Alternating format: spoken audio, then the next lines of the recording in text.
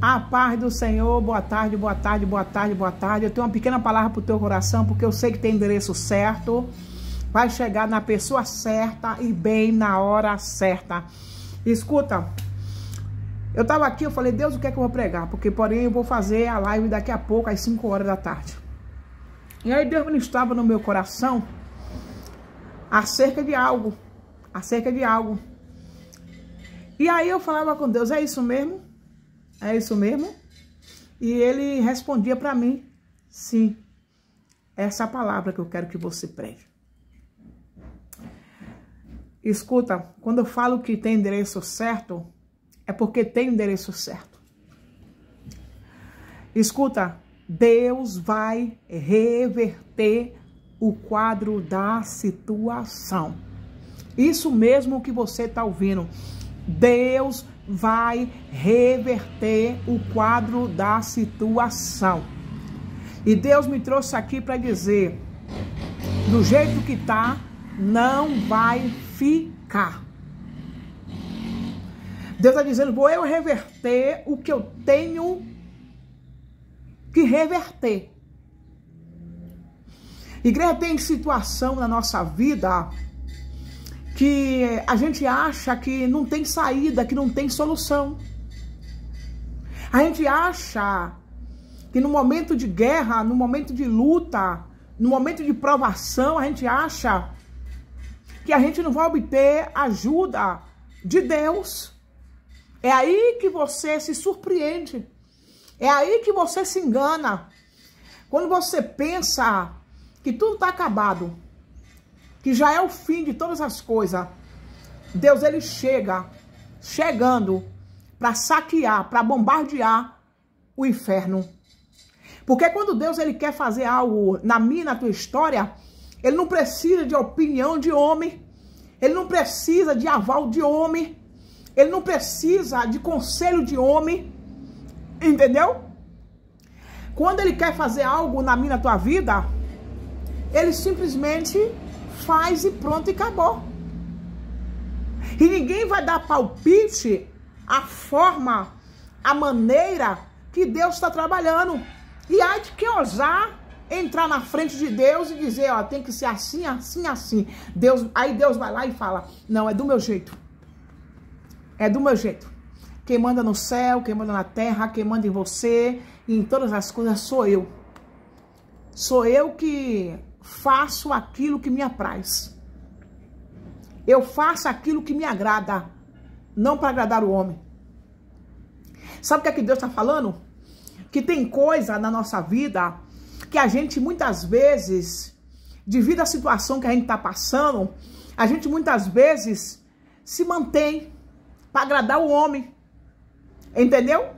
Aí às vezes você tá vendo que o negócio não tá certo que o negócio tá errado. Tá errado. Tá errado, não tá certo o que você tá fazendo, não, não é certo a sua atitude, não é certo o modo de você proceder, não é certo o modo de você agir, mas tem pessoas que se mantêm. Então, é, o que é que Deus está falando aqui? Que às vezes a gente tenta até mesmo se manter para agradar o homem para agradar o homem, porque o homem acha que tem que ser do jeito dele, da vontade dele. Aí foi aonde Deus me trouxe essa palavra, que eu vou reverter o quadro. Quando o homem diz que não tem mais jeito, quando o homem diz que não tem saída, quando o homem diz que não tem solução, quando o homem diz que não tem resposta, quando o homem diz que não pode fazer nada. Quando o homem diz que não vai se meter em nada, que não quer saber de nada, que é problema meu, que é problema seu. Aí Deus, ah, é problema meu, é problema seu, não é problema seu, não é, é não, peraí ainda, não é problema seu? Aí Deus fala assim, ah, já que você disse que não é problema seu, então é problema meu, né? Então eu vou, eu vou agir, eu vou estreitar a terra, entendeu? Eu vou ter que apertar quem eu tenho que apertar, eu vou ter que estreitar quem eu tenho que estreitar, eu vou fazer reboliço aonde eu tenho que fazer reboliço, eu vou soprar o vento onde tem que soprar, eu vou tirar do caminho, eu vou arrancar do caminho, eu vou, eu vou, eu vou jogar por terra os planos, eu vou jogar os planos arquitetados, projetados contra a vida dos meus filhos aqui na terra. Então, já que o problema não é seu, então eu vou colocar a mão na causa. E aí, quando eu coloco a mão na causa, ninguém impede de eu, de eu trabalhar, ninguém impede de eu executar, ninguém impede de eu agir, ninguém impede de eu operar, ninguém impede, rabaçu, de eu fazer aquilo que eu quero que o homem faça. E o homem não quer fazer. Aí Deus está dizendo, vou eu reverter o quadro. Não fique pensando que as suas orações estão sendo em vão, não.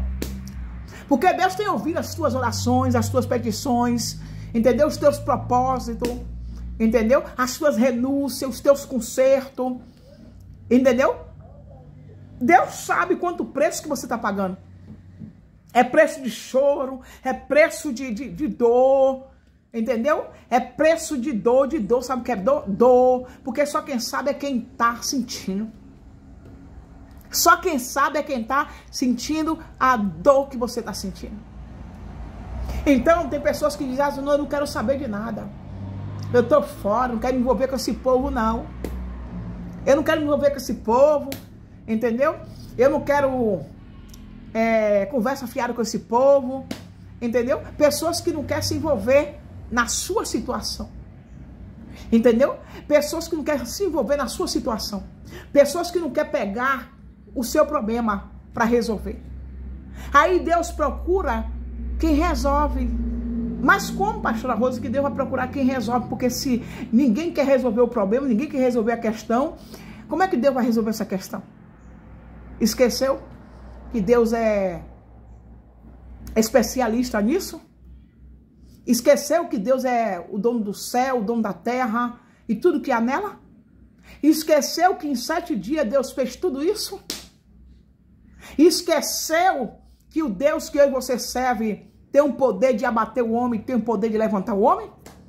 Esqueceu que Deus tem o poder de colocar o homem no leito e manifestar o poder dele para que esse homem ou para que essa mulher venha amolecer o coração?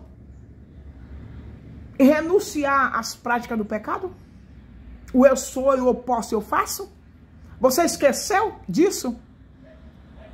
Quantas pessoas aí têm perdido casa, têm perdido carro, por conta de, de mal fé, por conta de estratégia, por conta de querer tirar proveito, por conta de querer prejudicar as pessoas. E aí você vai em busca de alguém que possa resolver a questão e a pessoa pega e sobressai. Não, não vou resolver não, não quero nem saber. Aí quando você corre atrás, quando você corre atrás de alguém, quando você corre atrás de alguém aqui, atrás de alguém ali, para poder te dar a mão, para poder te ajudar, para você sobressair dessa luta, desse problema, dessa prova, entendeu? Parece que as portas estão tá todas fechadas. Aí eu vim aqui para te dizer, Deus está dizendo, Arabaçu, vou eu reverter o quadro da situação. Vou eu colocar coisa no lugar que está fora do lugar. Vou eu tirar pessoas do lugar. Entendeu? É, pessoas que torciam até mesmo para você sair do lugar aonde você está. Pessoas que, que torciam para você sair dessa igreja, pessoas que torciam para você sair dessa, dessa empresa, desse trabalho, pessoas que torciam para você sair desse bairro, dessa rua, entendeu? Pessoas que torciam para você abandonar o seu casamento, o seu noivado, o seu namoro, entendeu? Pessoas que torciam para abandonar o seu filho, deixar seu filho de mão, entendeu? Como dissesse, ah, não vale a pena você lutar pelo seu filho, não vale a pena você lutar pelo seu marido. Aí Deus está dizendo, vou eu reverter o quadro. Entendeu? Se tiver de eu libertar, eu vou libertar o teu filho. Se tiver de libertar o teu marido, eu vou libertar. Se tiver de restituir teu casamento, eu vou restituir. Deus está dizendo, vou eu reverter o quadro. Aquilo que você perdeu, eu vou trazer de volta. Aquilo que é teu, para a palma da tua mão. Deus está dizendo, vou eu reverter Arabassuta carabaço. Igreja é forte, estou sentindo a presença de Deus aqui. É forte, igreja. Deus está dizendo, vou eu reverter o quadro. Arabaçu, porque eu sou, eu posso, e operando eu, quem impedirá? Ninguém pode impedir os desígnios de Deus, os propósitos de Deus, porque operando Deus, ninguém pode impedir o agir de Deus. Deus pode todas as coisas, igreja. Eu estava sentado ali, Deus falava comigo, estava lendo a Bíblia para ver onde é que eu ia pregar, qual versículo que eu ia pregar, e Deus me deu uma palavra para me pregar, né? Estava até estudando. O Senhor falou assim comigo assim: tá preparada? Tá preparada para dar o culto de ação de graça? Eu falei, Senhor, o Senhor está falando comigo? Aí o Senhor se calou.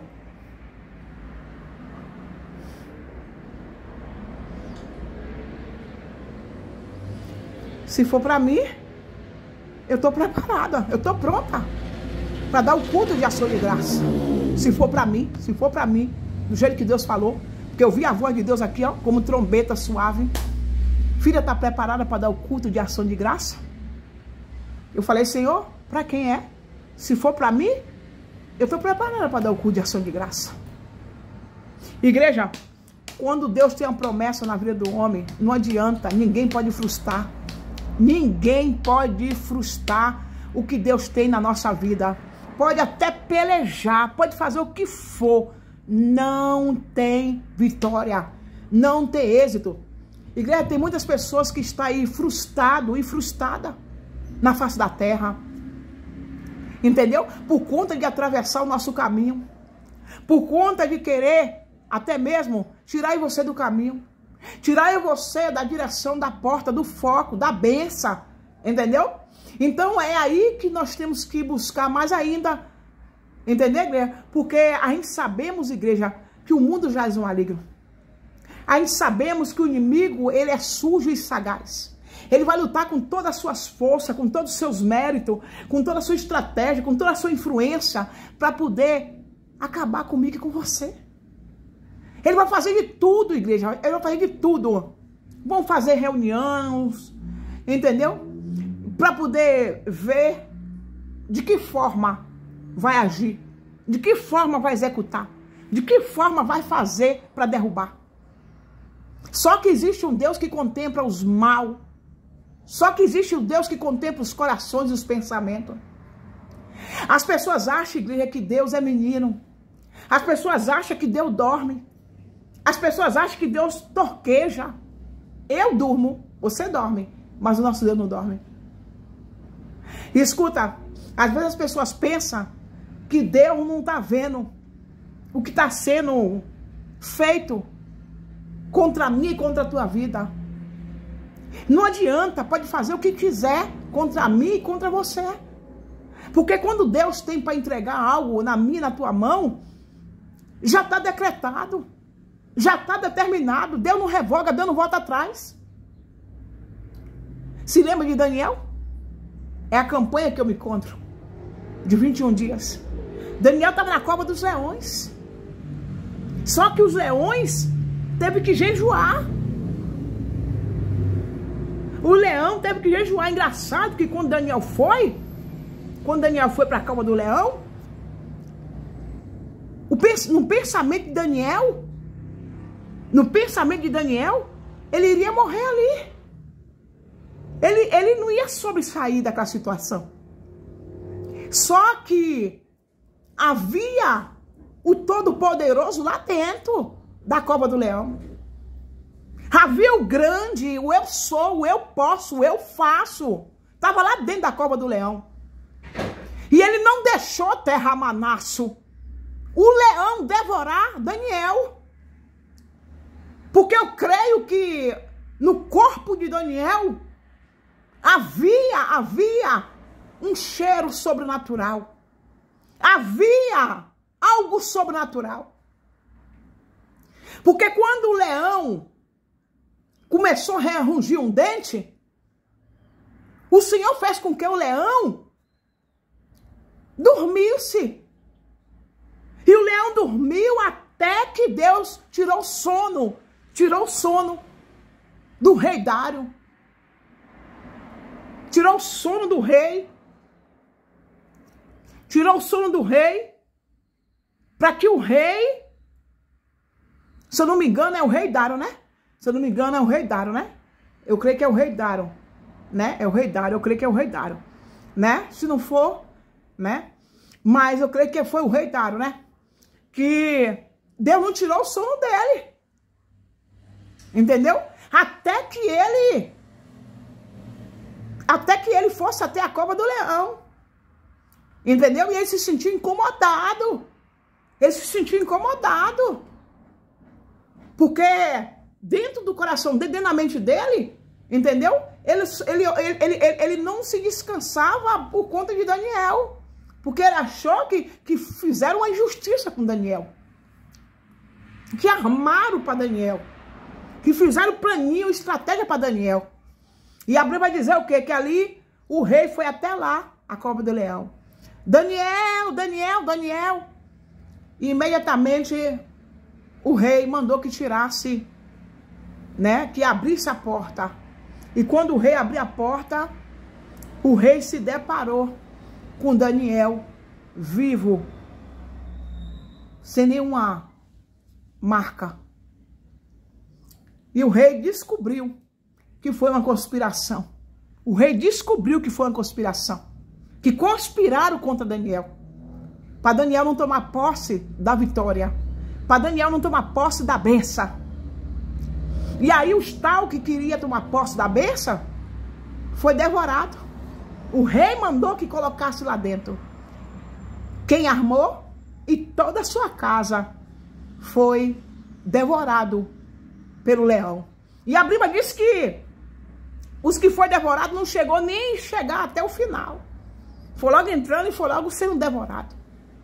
Por isso que eu digo, quando a pessoa arquiteta, arma alguma coisa para alguém,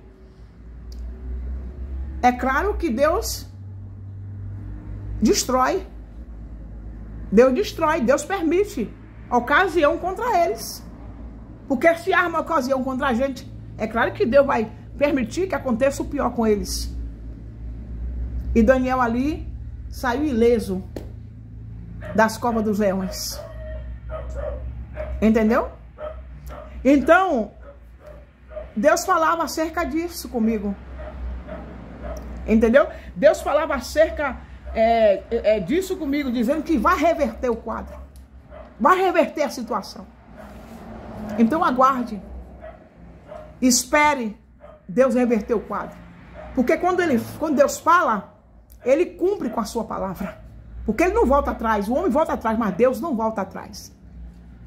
E na hora certa, você vai obter vitória. Na hora certa, Deus vai manifestar o poder dele, vai mostrar que ele é Deus sobre a tua história.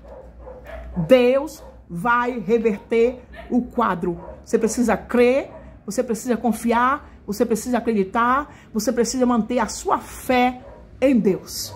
Fico com essa palavra. Deus abençoe. E vamos que vamos para mais vídeo. E às 5 estamos aí de live com a palavra poderosa a qual Deus me deu.